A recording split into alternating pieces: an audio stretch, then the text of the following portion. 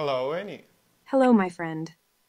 How can I assist you today with improving your English speaking skills? I can't speak English fluently with people. Can you help me to improve my skills? Sure, Dennis. I am happy to help you improve your English speaking skills. Let's work on that together. My name is Dennis. I love practicing English. What about you?